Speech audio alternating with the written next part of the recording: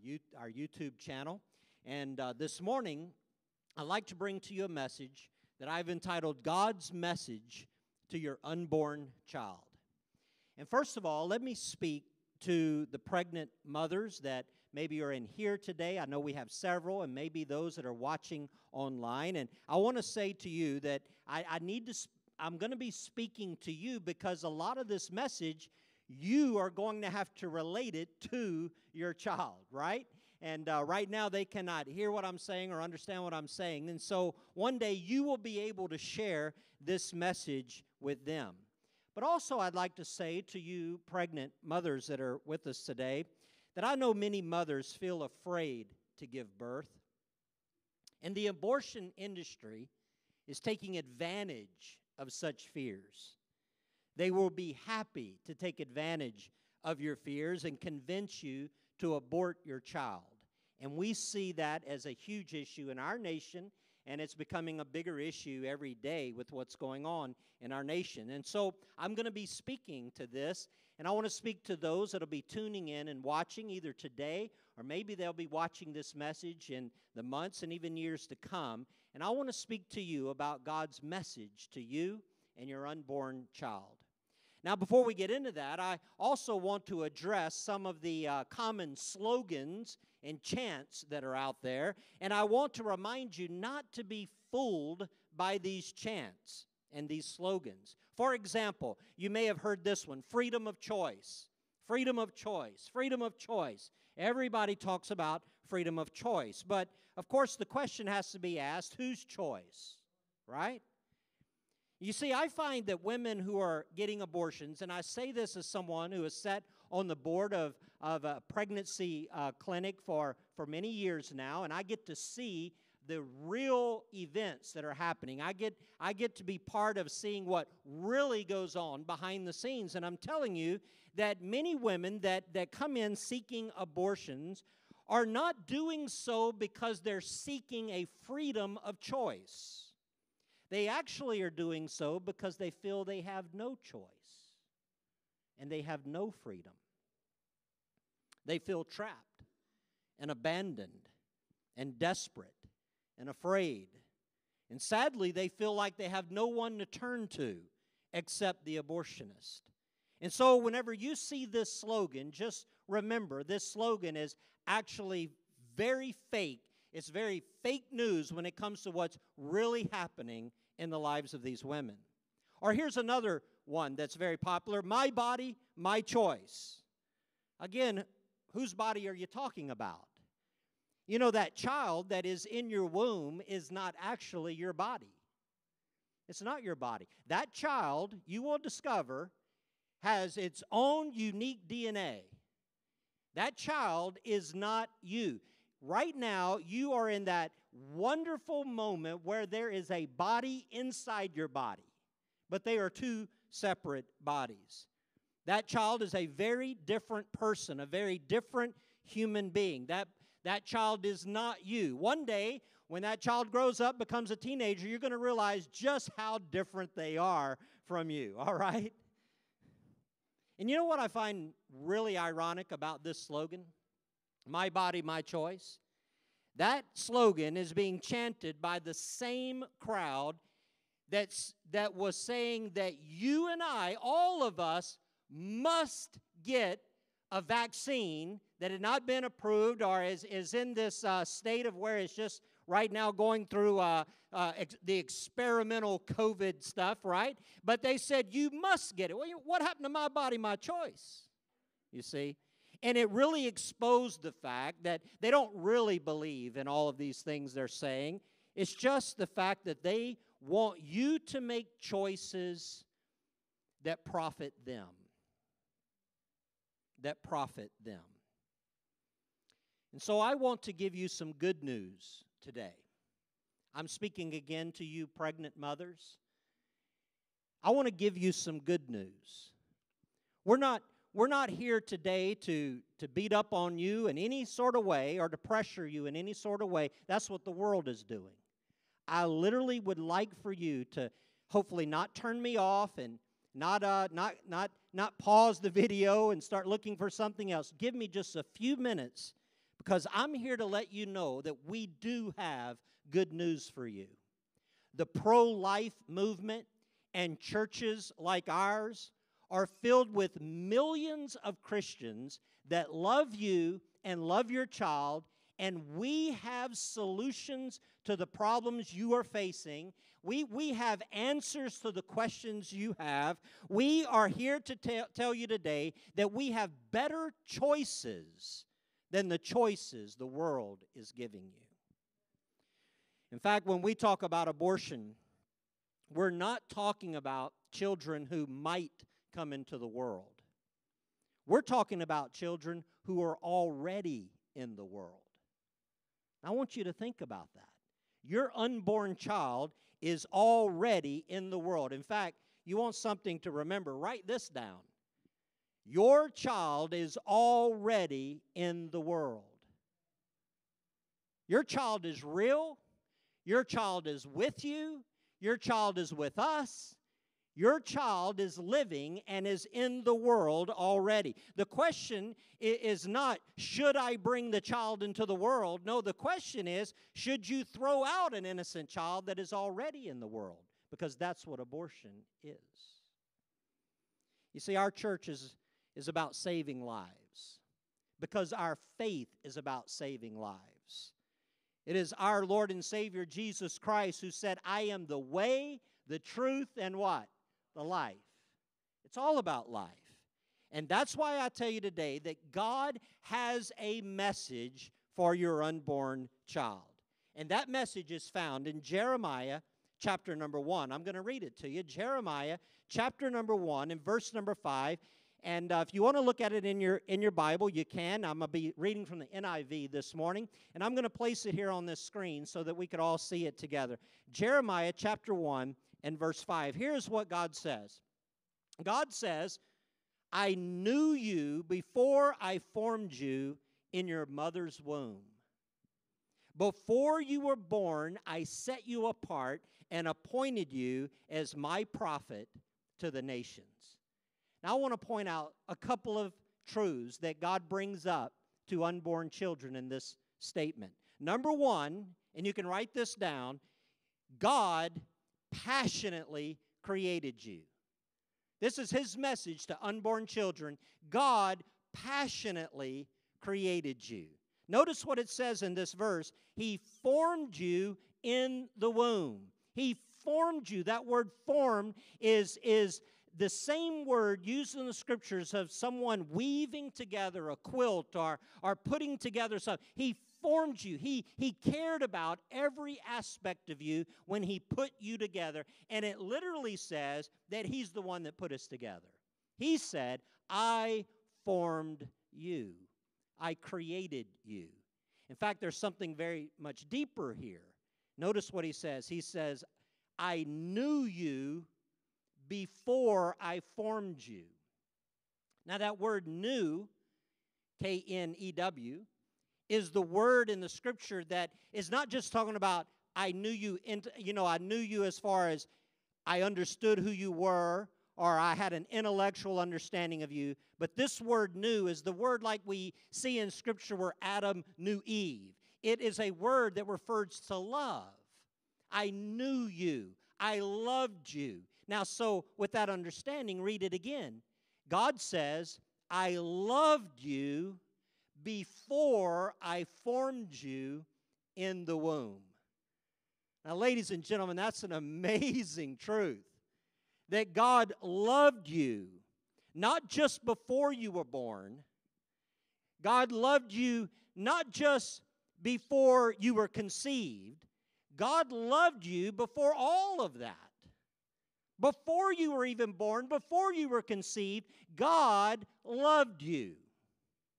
So, bef- so we talk about life starting. Some say life starts at birth. No. Listen, God knew you before birth. Some say life starts at conception. No, God knew you before conception. Conception is not even the real beginning. God says that He knows us and loves us before our parents even met.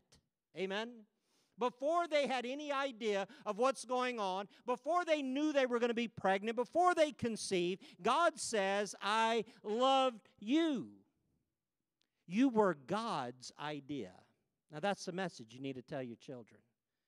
You were God's idea. He knew you, He loved you, and He formed you. God's love was before your birth, before your life, and before your conception, and before this speaker attacked me, all right? God loved you. In fact, hey, by the way, think about this. God loved you, it says in this text, before he formed you in the womb, which means that gives us insight into why he formed you in the womb. In other words, you were conceived and became a human being because God loves you. That's how much He loves you. And that's how long He's loved you. You wouldn't be here except for the fact God loves you. He's created you. You see, if you hear what I'm saying today, we're talking about more than being pro life, we're pro love. We're pro love. We're a pro love people with a pro love God and a pro love faith.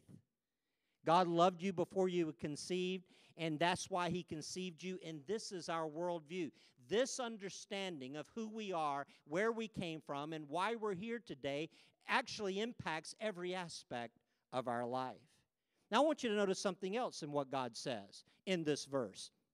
God says the following He lets us know that He has personally claimed us. God personally claimed you. He says, Before you were born, I set you apart. In other words, in the womb, God claimed you. He planted a flag on you. You belong to God. God's message to unborn children is You are mine. Before you're your mom's, before you're your dad's, before you or anybody else's, you are mine. I have claimed you. I have personally claimed you. I have set you apart. You belong to me. Mothers, this human that you're carrying in your womb, this child belongs to you. Yes, this is your child, but listen, it is God's child. This child actually belongs to God before it belonged to you. God gave you this child. This child is a gift from God. Amen. This is a very precious treasure that you're carrying in your womb. God knows your child, loves your child, has formed your child, and has claimed your child. And that is true for all of us. We are all in the middle of a story that God has, has written. God has written the story of our life. He has formed us and made us and claimed us for His purposes. And each one of us are living this life according to what God has called us to be. Number three, notice this in the verse God purposefully called you. He's not only claimed you, He's called you. He says, Before you were born, I set you apart and what? Appointed you. Appointed you. Now, in Jeremiah's situation, he appointed Jeremiah to be a preacher. That's what he goes on to say. I set you apart and I appointed you to be a prophet. But the principle is true for everybody that God has appointed all of us to do something great for him.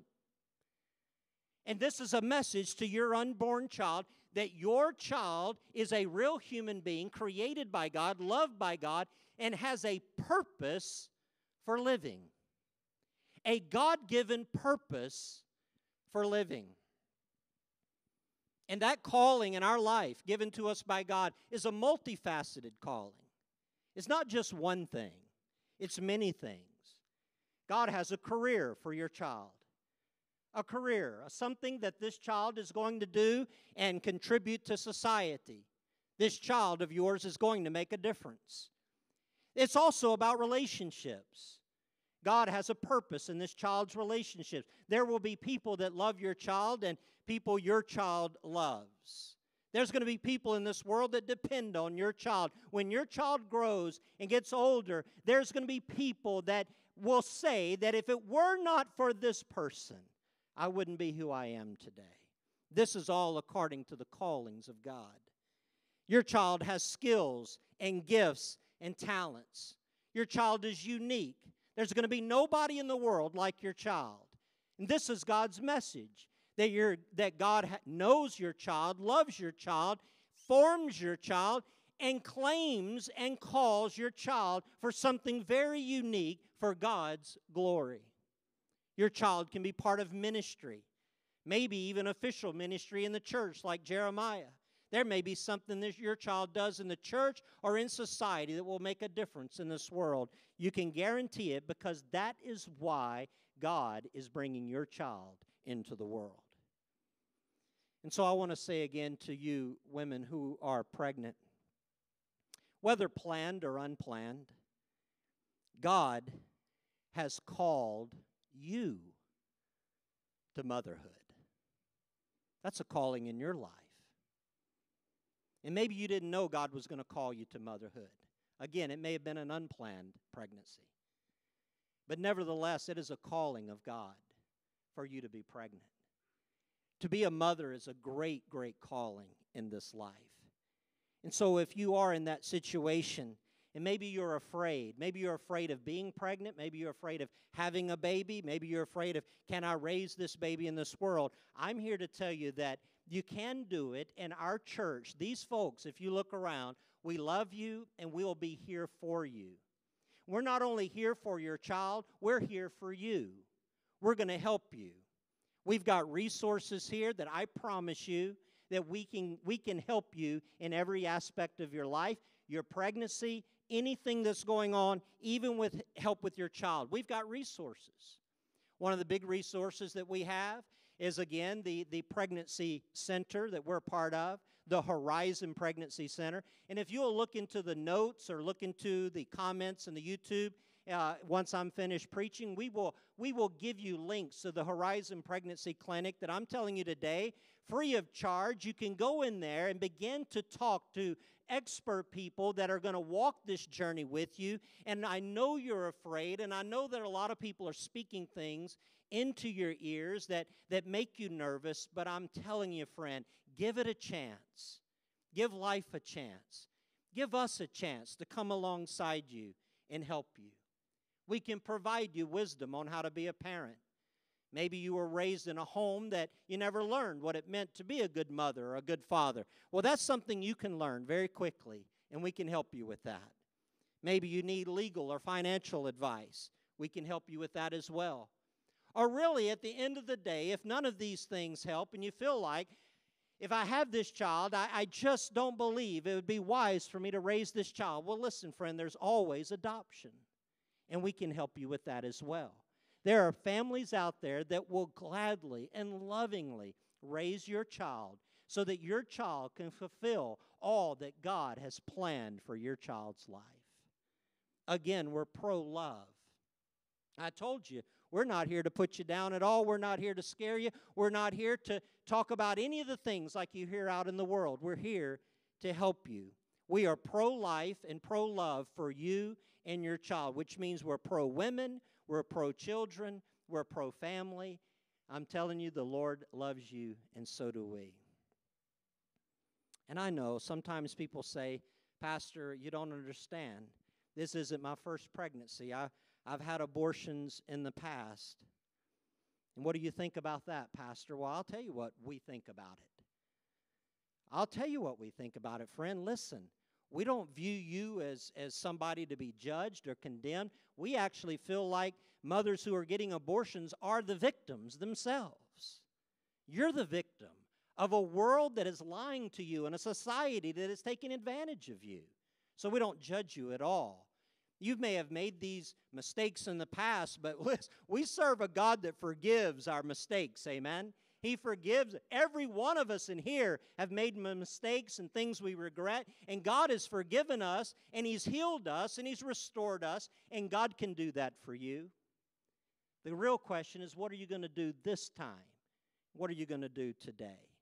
I want to challenge you this morning the following that you'll see here on the screen, and that is to choose life from this day forward. Choose your life and the life of your child. That's some big choices. Choose your life and the life of your child. And those choices go together. Another terrible slogan that I hear is, is uh, making abortion safe and legal, safe and legal, safe and legal, you know. And I'm like, come on. There's nothing safe about abortion. There's absolutely, and I'm, I'm, telling you, I know as someone who works behind the scenes and has a, a little bit of insight into that industry. There's nothing safe about going into your womb and killing of that living baby that's inside of you.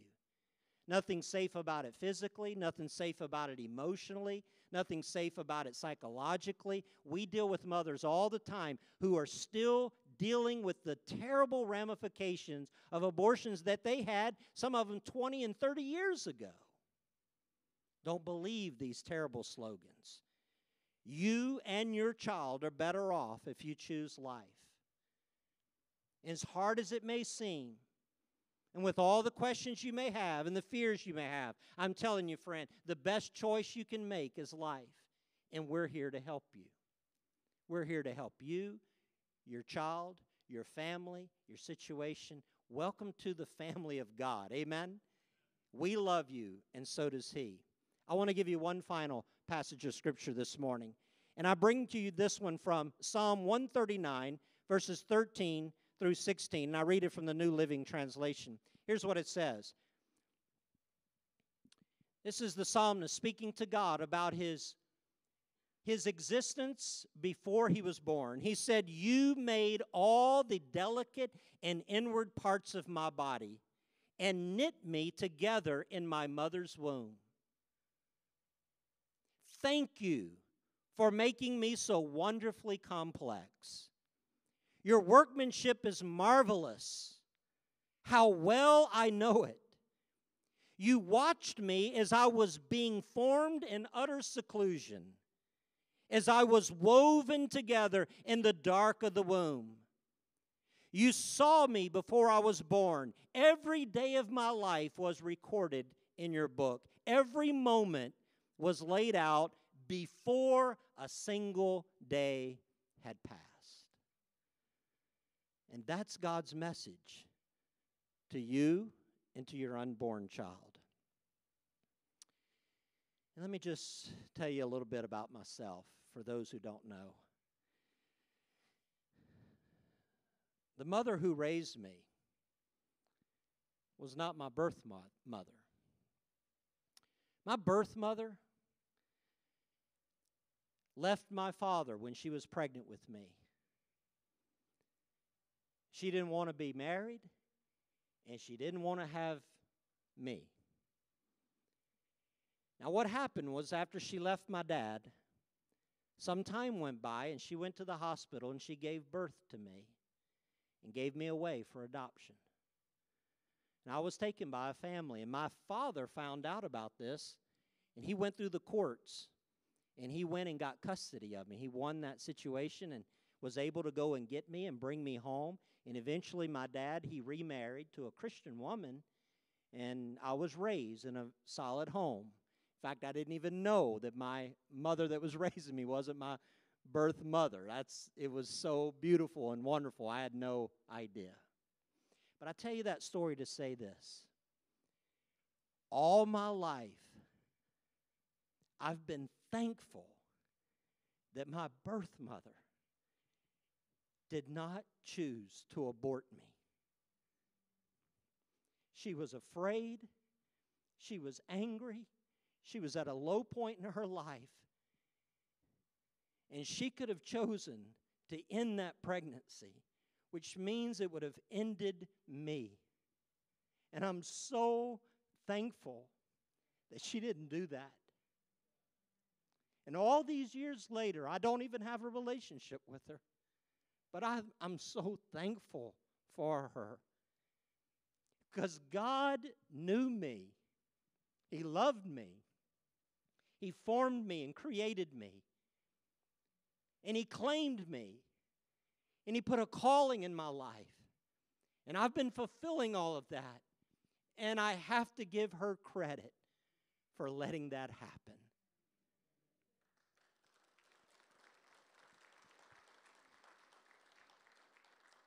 I believe God has a special place in his heart for mothers.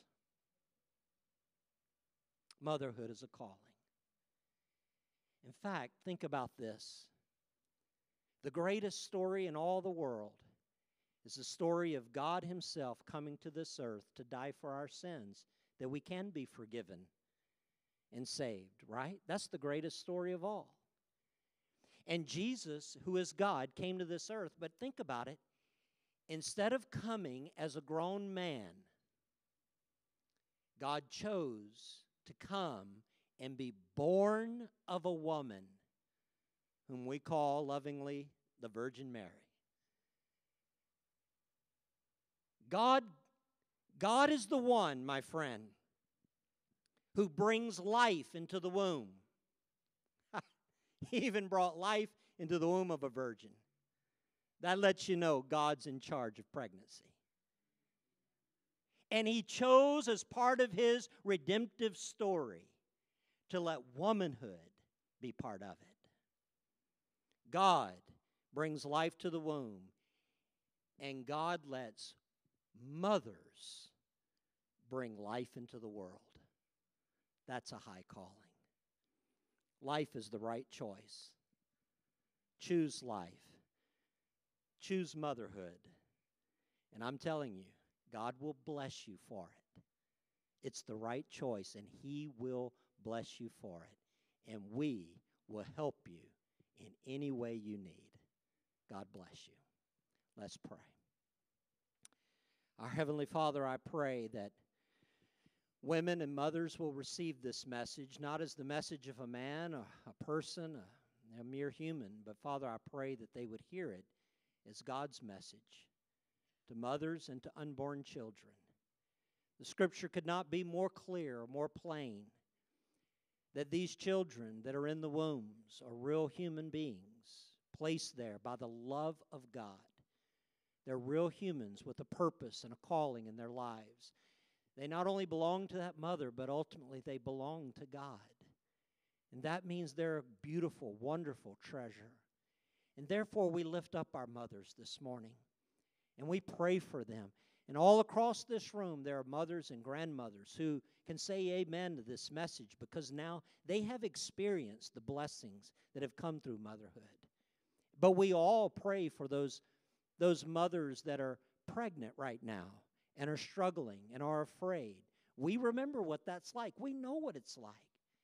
But we pray for them that they would open their, their hearts to this message of love and hope today and realize that they're not alone. God is with them, we are with them. And what they're carrying in their womb is one of the greatest blessings that they'll ever have in their life. And I pray, Father, you give them the strength and the courage to say yes to love and to life. For it's in Christ's name we pray. Amen.